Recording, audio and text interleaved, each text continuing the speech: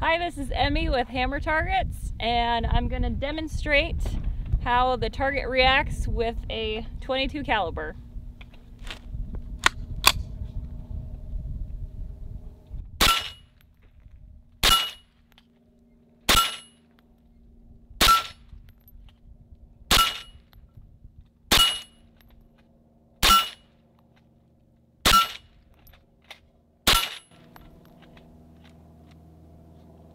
Thank you.